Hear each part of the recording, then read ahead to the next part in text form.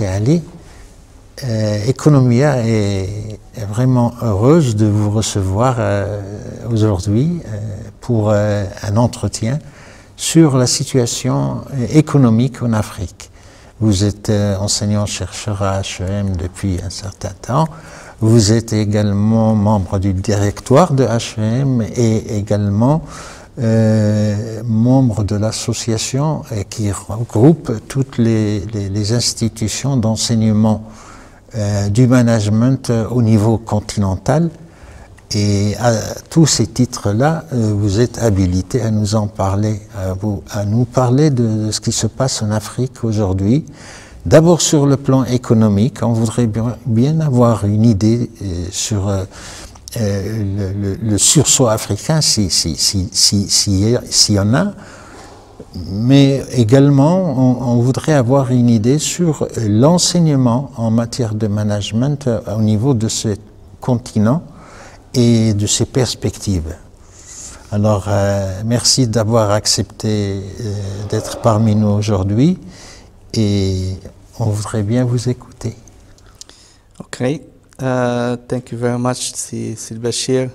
Thank you very much for your invitation. I'm honored and delighted to, uh, to be here at the Economia, uh, the research center of HEM, to talk about um, the state of management and business education in Africa.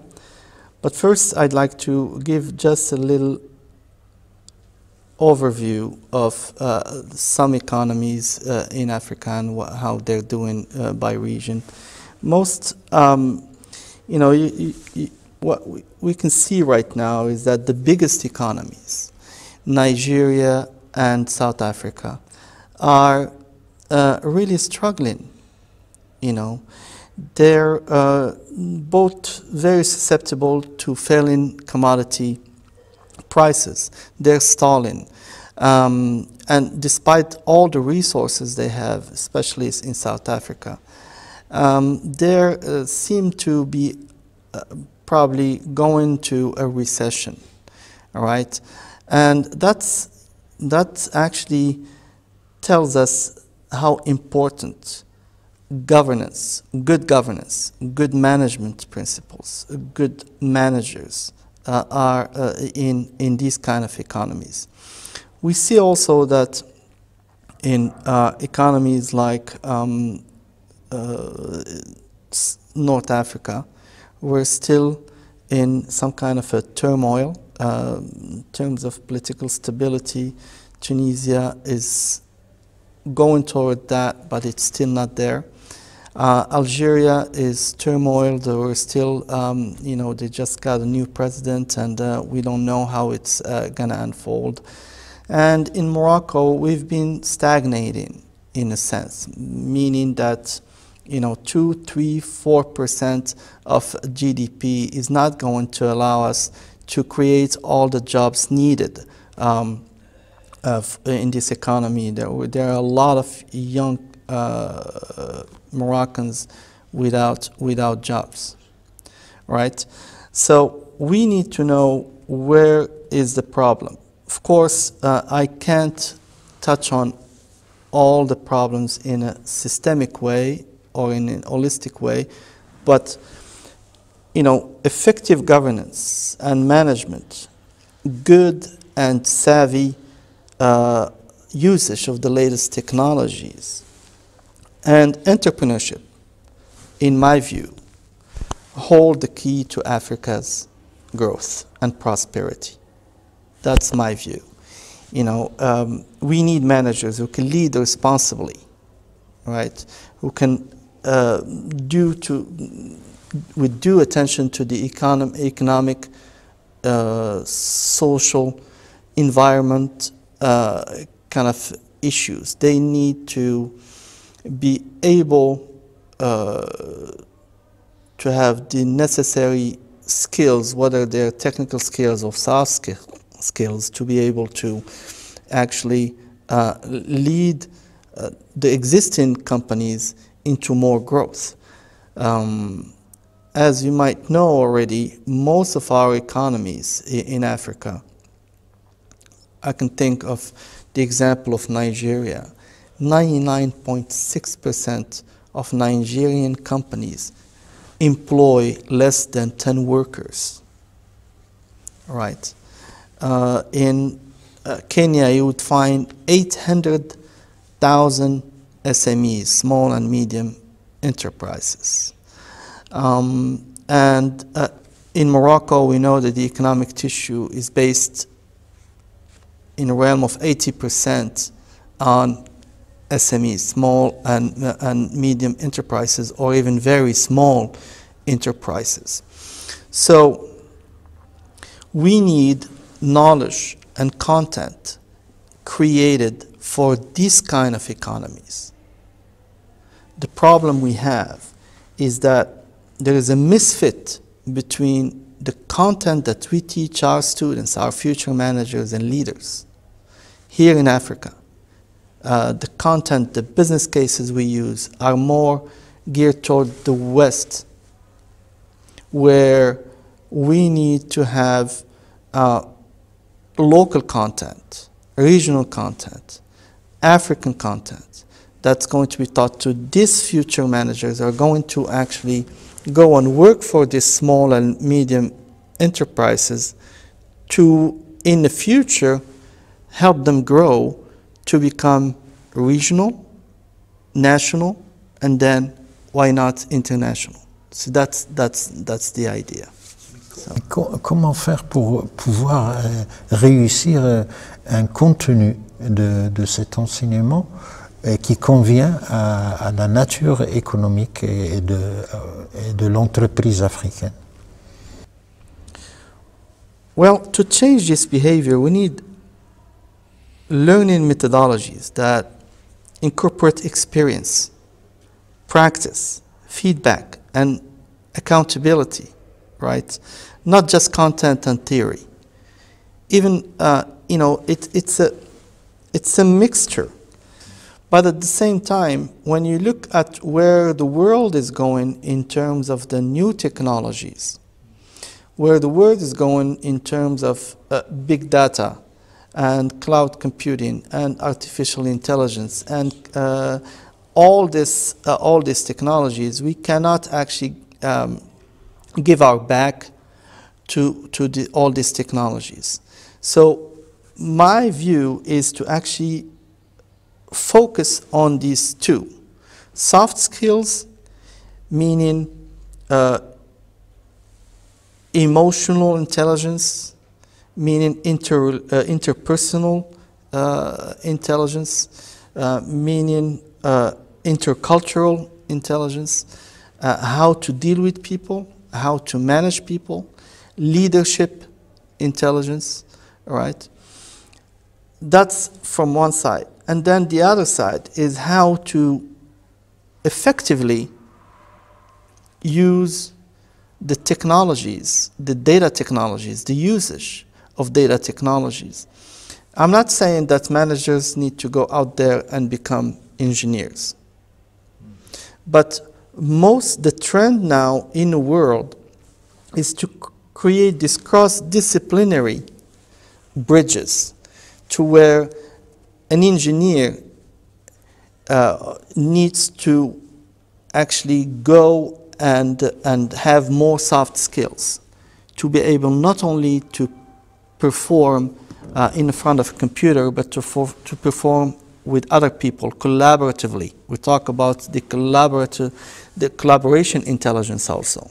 Okay, and then we need for the manager to be curious enough to know more about these new technologies to know more how big data functions, how the artificial intelligence could actually help the business, to know more how to sift through um, the structured data and the unstructured data.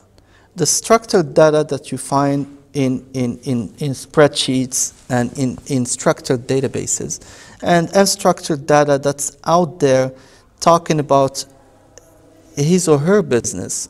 Uh, like I'm talking about the social networks, I'm talking about the Facebooks, the YouTubes, the, all the all the the you know the unstructured data that's out there, impacting the manager's business. So it's, it's, you have to be really uh, with a state of mind of 360 degrees, knowing how to get the, the, the, information, make decision out of it, and knowing how to make people work, uh, do the work you want them to do, meaning uh, getting the best out of the people. So these are very major, major, um, you know, uh, skills that uh, any African manager needs to have.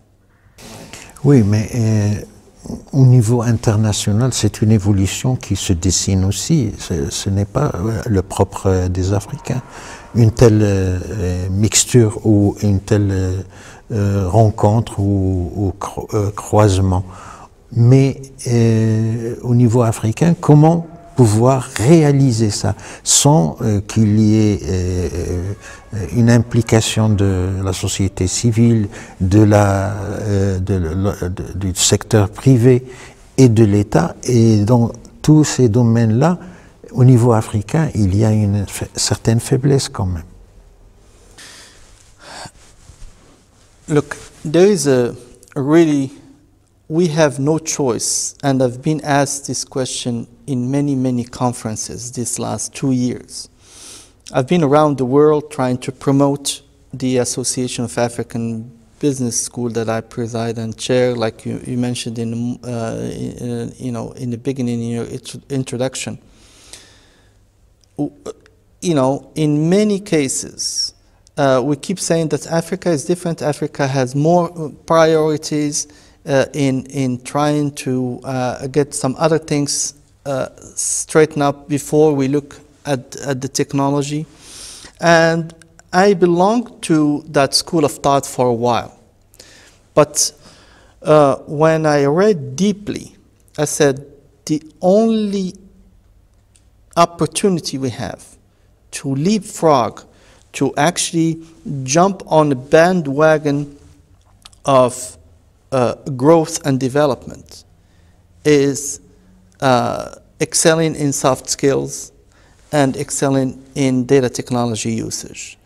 So we, we have no choice because uh, when I read deeply about artificial intelligence, if you don't uh, understand it from the beginning, there is no way you're going to make it up or at some point um, catch up with the people who embraced that technology before. So why wait? We missed the first industrial revolution. We missed the second industrial revolution. We missed the third industrial revolution. Now in, we are in the fourth industrial revolution and the chances are more democratized if we can actually just put our minds into it. And of course, if I tell you some drastic statistics about Africa, you're going to say, maybe this is not a priority. If I tell you that 600 million Africans don't have an electricity, you're going to say, well, how are they going to connect to, to, um, to, to an internet, or how are they going, going to uh, learn about technology if they're like that?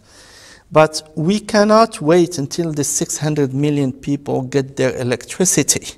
We don't have the time and the, the leisure of time to be able to do that.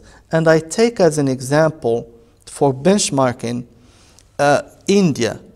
India also has 600 million people with no electricity, no toilets. But India leveraged the usage of data technology all the new technologies with its engineers from all over the world, uh, spread all over the world um, because of uh, their ingenious strategies in the 50s to um, teach people, to give people knowledge, to, to, to send people out to, to the West and to wherever there is knowledge to learn they are actually uh, harvesting right now all the fruits of all this. India is the only country in the world which, you know, that was able to actually surpass the economy of its colonizer. At some point in time, India's economy has become bigger than the UK's economy. Now imagine this. Moroccan economy has about 100 to 110 billion dollars in GDP. And France has 2.5 trillion dollars in GDP. So there is no way for Morocco to ever uh, surpass the, the, the, the French uh, economy uh, because of these results. But the Indians were able to do that. We, if we focus on that and have a strategy where we know that there is poverty in, in, in Africa, and by the way, I always say it in many, in many uh, panels Africa is not a poor continent. Africa is an impoverished continent. And whoever studied this, the history of Africa would tell you that. We have been impoverished throughout history, you know, from the beginning of the 20th century until, uh, until now. Okay? And if we don't get our act together in terms of acquisition of knowledge, whatever knowledge that is. I mean, we're talking here about management, governance, business education. But whatever knowledge that is, if we don't get on the bandwagon, if we don't catch up, if we don't take this question of education very seriously,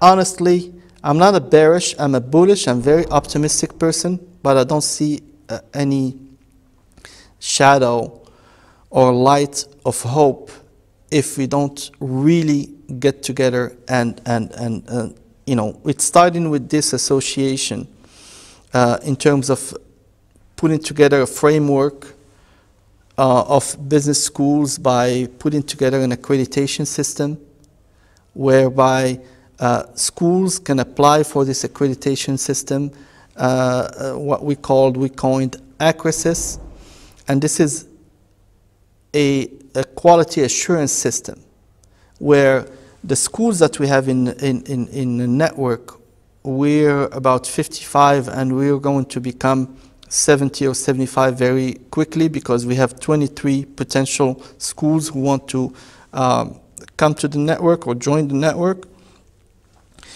If we all adhere to this accreditation system and we all follow this accreditation system and this is the first accreditation system that is proper to Africa.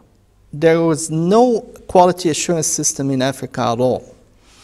And few African business schools, especially in South Africa and in North Africa, were able to get some international accreditations, like the uh, AACSB accreditation, which is an, an American uh, uh, accreditation, or the EQUIS accreditation, which, which is a European accreditation given by EFMD, which is the, uh, the European Foundation for Management Development, or the AMBA accreditation, which is actually an accreditation association of MBAs based in the UK very few, we're talking about 10, 12, 15 schools in all African continent, 1.2 billion people that are actually accredited.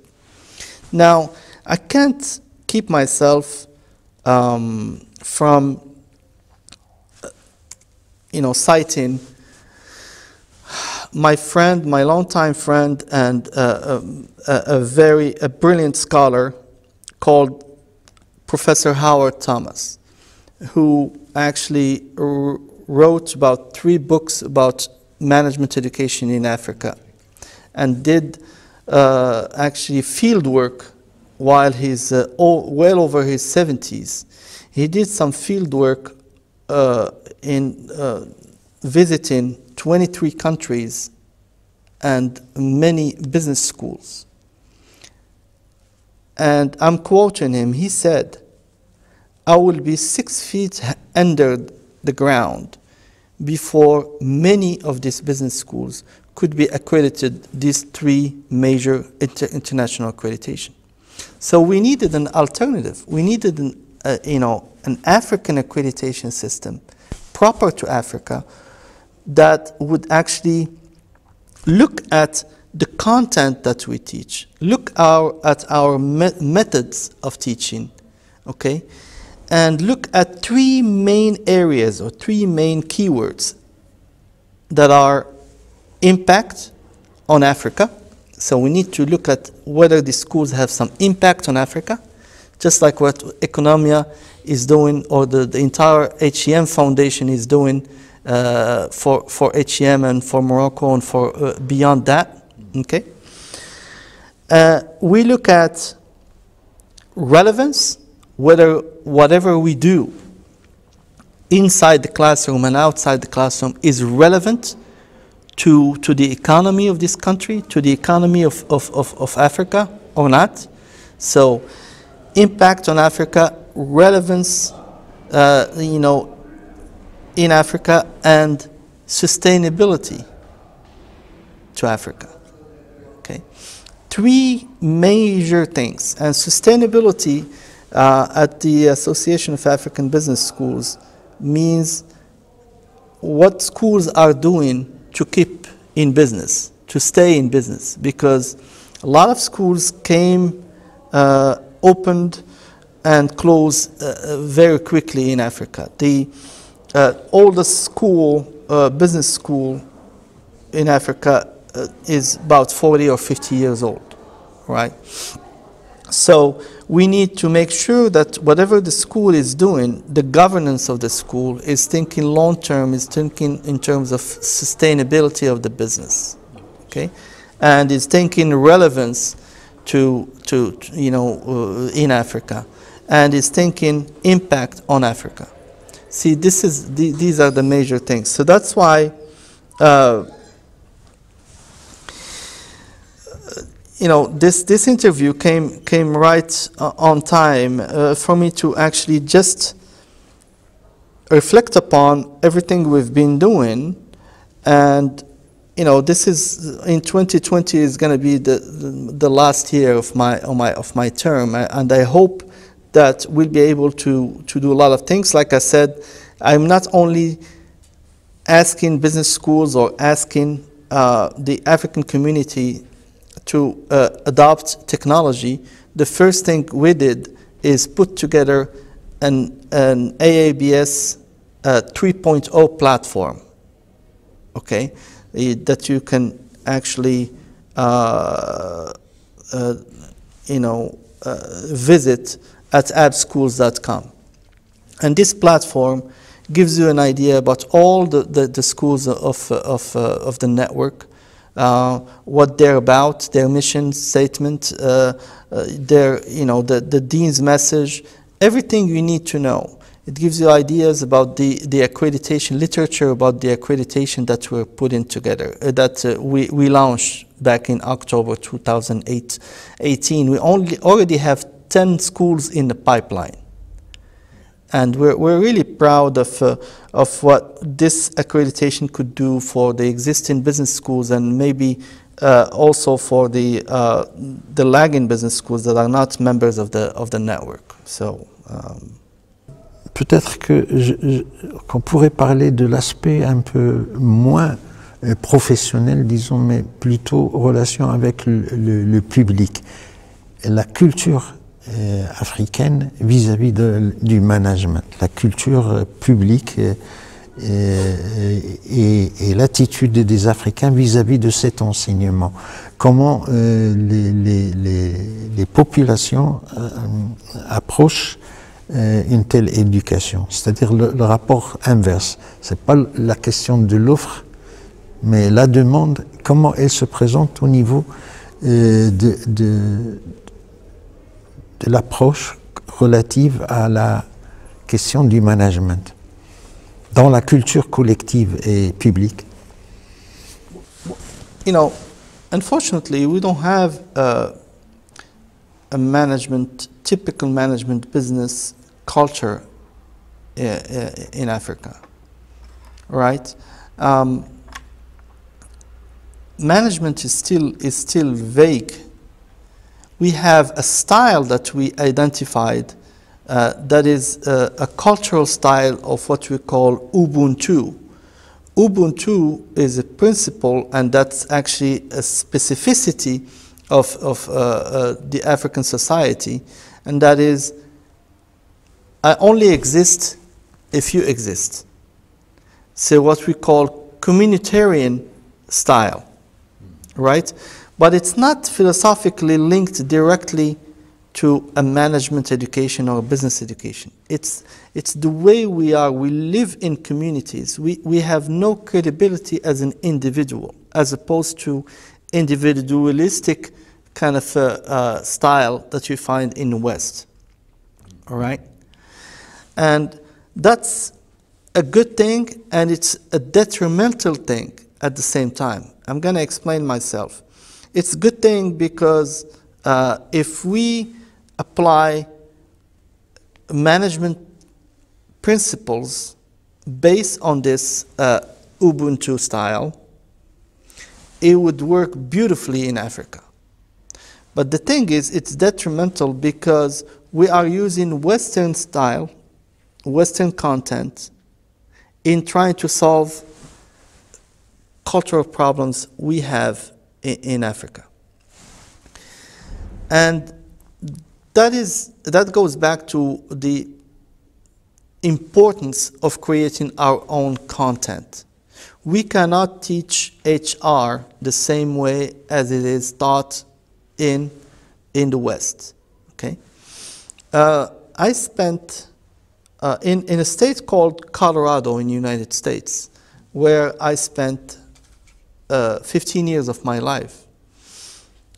The labor law there says that an employer can fire an employee on the spot without any, uh, you know, uh, uh, what do we call that? Uh, I, I can't think of, of a word right now, without any notice, without any mm, previous notice, okay? And uh, an employee could actually leave the, the company, you know, I quit and I go. Okay, that's pretty much the mentality in the West.